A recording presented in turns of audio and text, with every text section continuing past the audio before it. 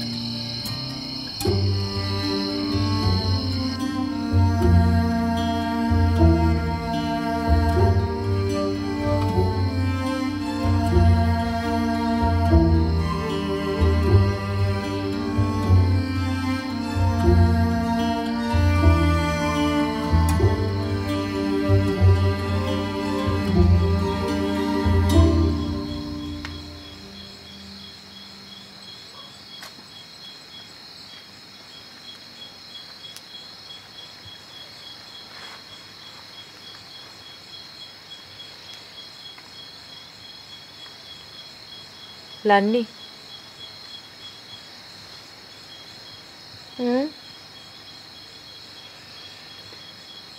මොනවද කල්පනා කරන්නේ?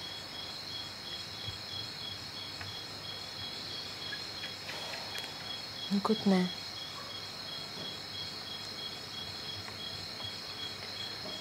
මං එදා කීදේ හරි නේද?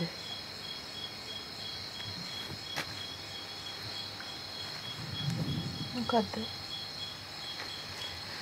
අපි බෑග් එක දෙමුයි කියලා. හ්ම්.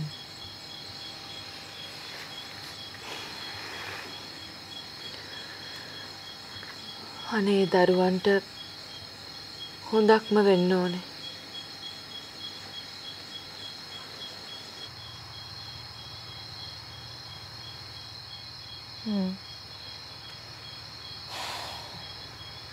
මං හිතන්නේ දරුවෝ දැන් ඉන්නේ ආරන්නේ.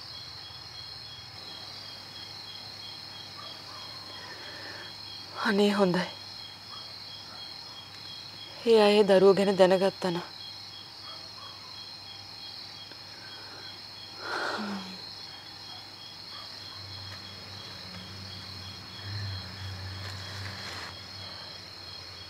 අපිටත් බැරිද එයාට උදව්වක් කරන්න? කාටද?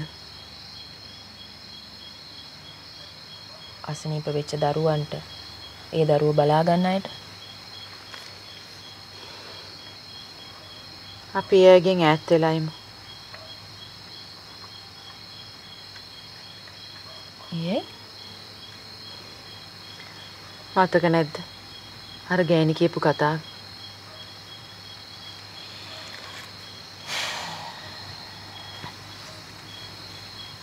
ඒ ගෑණි මට ආයෙත් මුණ ගැහුණා. ආයෙමත් ඔව්.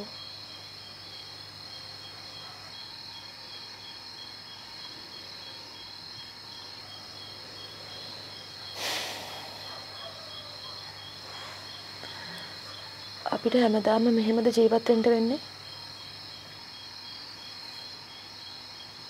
ලන්නි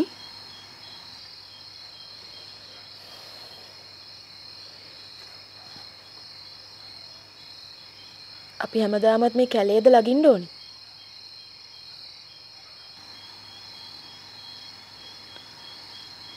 මොකද එකපාරට මේ මහන්ට හිතුනේ.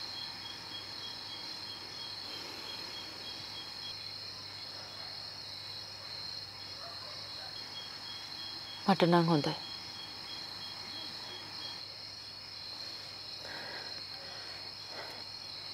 අපිට යන්න වුණොත් ආයි යන්න හිතුණොත් මොකද කරන්නේ? ආයි යන්ට නෙවෙයි මම ආවේ. මේ කැලේ ඔක්කොම ගිනිබත් වෙලා කාන්තාරයක් වෙලා විනාශ වෙලා අපි විතරක් ඉතුරු වෙලා හැම වුණත් මොකද කරන්නේ? මේ කැලේ ගිනිබත් වෙනවා කියන්නේ අපිත් විනාශ වෙනවා කියන එකනේ. නෑ. අපි ඉතුරු වෙලා කැලේ විතරක් ගිනිබත් වුණොත් ඒ කාන්තාරේ හොඳයි කියලා මං ඒක තෝරගන්නවා.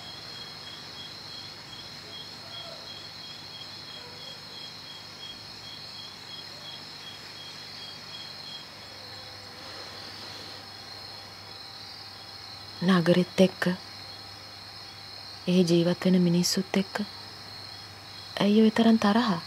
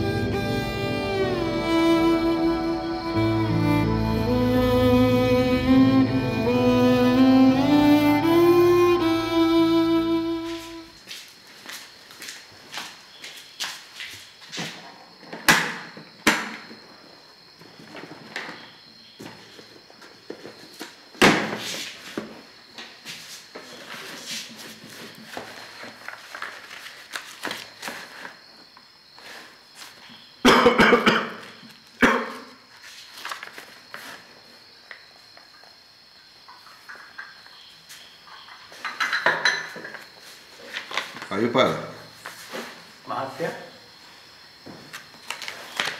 මට ආයුපාලගේ යමක් දැනගන්න ඕන. අහන්න හේතුව මහත්තයා අපේ ලොකු ආදුරන්ට අසනීප වෙලා කොච්චර කල් තිබ්බද? මාස ගණනින් දින ගණනින් නම් මට කියන්න දන්නේ නැහැ. මං දන්න තරමින් අවුරුද්දක් විතර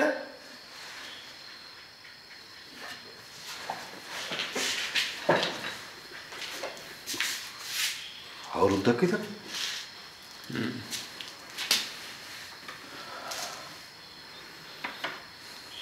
කිසිම බෙහෙතක් ගත්තේ නැද්ද? නෑ. දවසින් දවස රෝගෙට බිලි වුණා මිසක් ඒක මර්ධනය කරන විදියක් හිතුවේ නෑ. ඇයි උන්වහන්සේ එහෙම කරේ අයුපාල?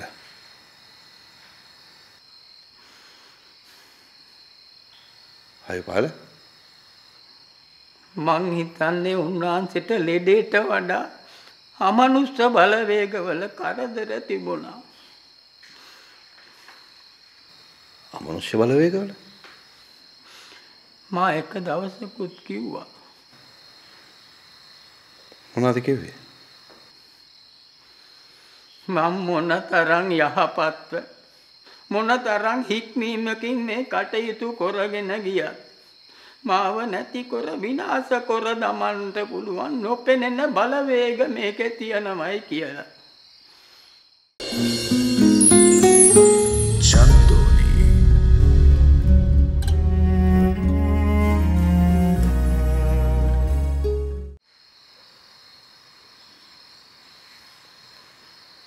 නොපෙනෙන පිරිසක්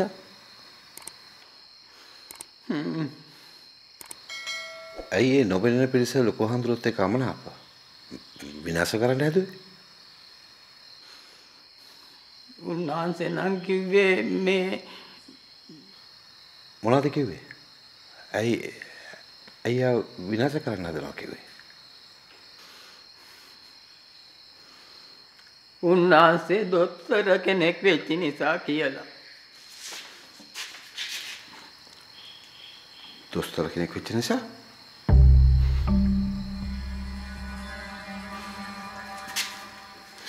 ඒ මොකද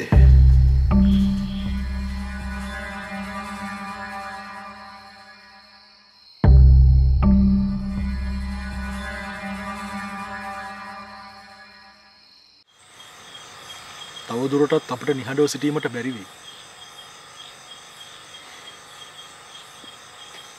ඔවුන් අපට කරදර කරන්න පටන් අර.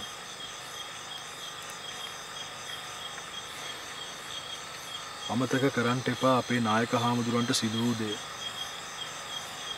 ඔවුන් සියලු දෙනා බිය වුණා මෙහි ඇති සියලු ගුප්ත රහස් අපේ නායක හාමුදුරුව හෙළි කරයි කිය.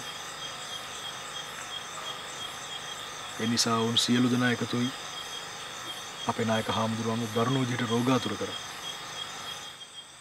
කුඩා දරුවන් ගැමියන් වෙතින් පෙන්නුම් කරන්නේ කුමක්ද අපි හාමුදුරුවන්?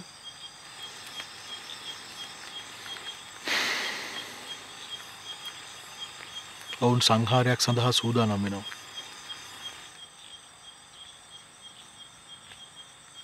සංහාරය ඔවුන් එයින් බලාපොරොත්තු වෙන්නේ අපේ මේ ව්‍යායාමය බිඳින්ට. අපේ සමාධිය බිඳින්ට ඉන් අනතුරු අප විනාශ කොට මෙහි ආධිපත්‍ය තහවුරු කරගන්නට.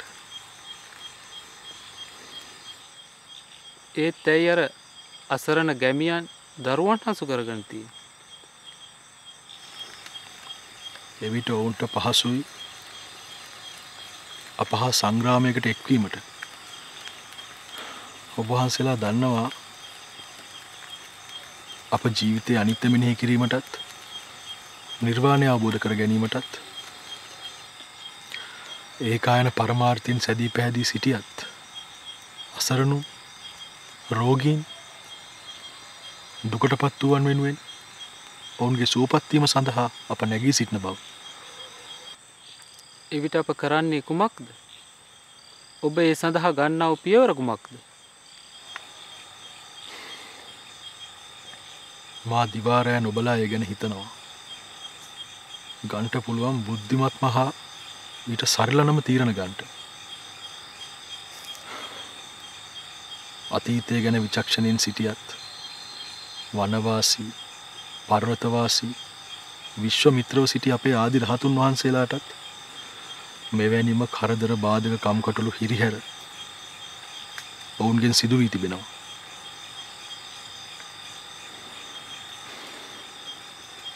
මෙතනදී අපි අධිෂ්ඨාන සීලීව සහ විචක්ෂණ සීලීව මේ ගැටලුවට මුහුණ දිය යුතුයි. අපි අපේ යහපත් පරමාර්ථය සඳහා යායුත්තේ මේ සියලු උවදුරුවලට නිර්භයව මූුණ දීමෙන් පමණමයි. ඒ නිසා අපිට අනාගතයේ මොනයම් ගැටලුවට මුහුණදීමට සිදුවනත් ඒට අපි පැකිලීමකින් තොරව මුහුණ දිය යුතුයි.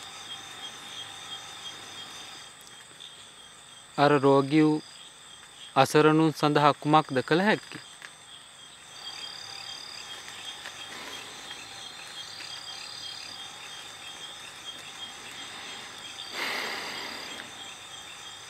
අප ඔවුන් සුවපත් කරමු.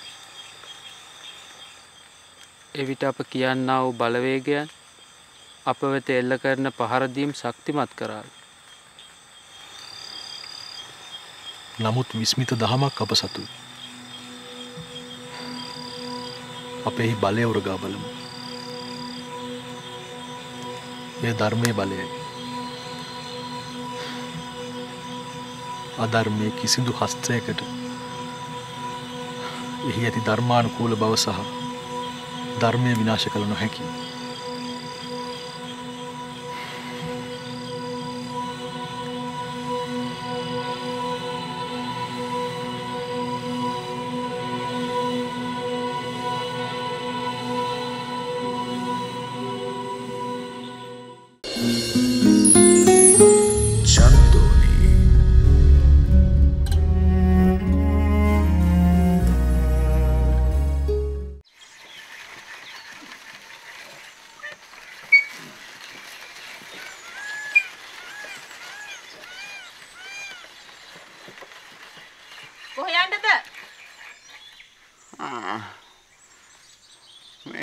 හිටියට මෙතන මට වාවන්න බං.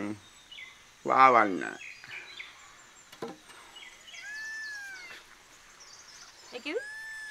ඒක කොහෙද? කොහෙද ඉතින් ඔබට මේවා කිව්වා කියලා වැඩක් තියෙනවද බං?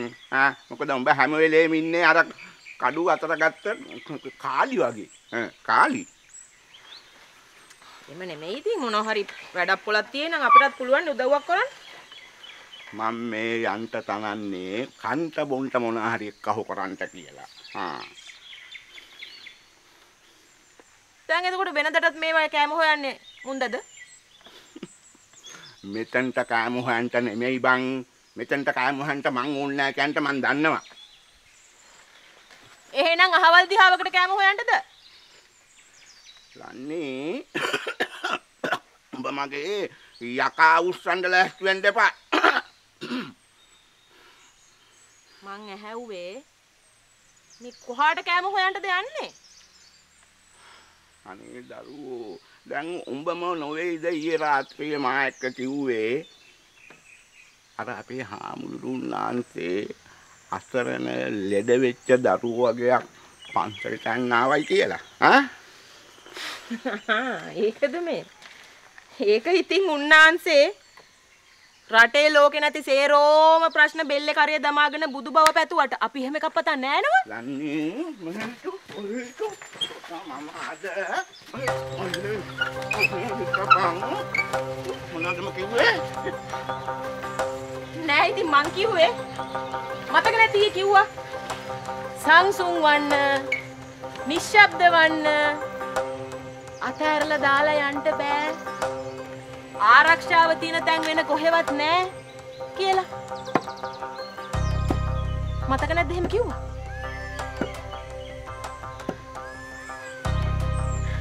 ඒ නිසා දැන් ඔන්න ඔහෙන් ඈඳි ගන්න. බලපයයි ගොඩපයයි තියාගෙන ඒ කාලේ කරපුවා දැන් කරන්න බෑනේ. අනිත් එක දැන් ওই හිතේ කනස්සල්ලේ තියෙන උන්නාන්සේ උන්නාන්සේගේ සනුහරේ බඩගින්නේ දී කියලානේ. එහෙමනම් මේකත් හොඳට මතක තියාගන්න. උන්නාන්සේත් මං වගේ තමයි. යමක් කරන්න හිතට ගත්තොත් බඩගින්නයි තිබහයි කියලා ඒ දේවල් අහක දාන්නේ නැහැ. කොහොම හරි කරලා ඉවර වෙලා තමයි පස්ස බලන්නේ. කැම වැඩක් නැහැ.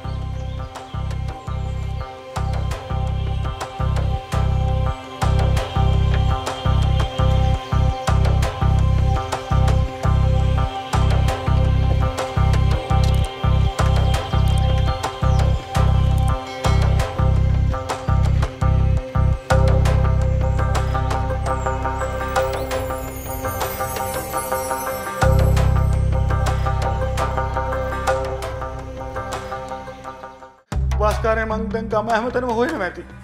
බාස්. මොන්න බාස්ද මට වඩා මේවා ගැන දන්න වෙන කෙනෙක් ඉන්නවා. කවුද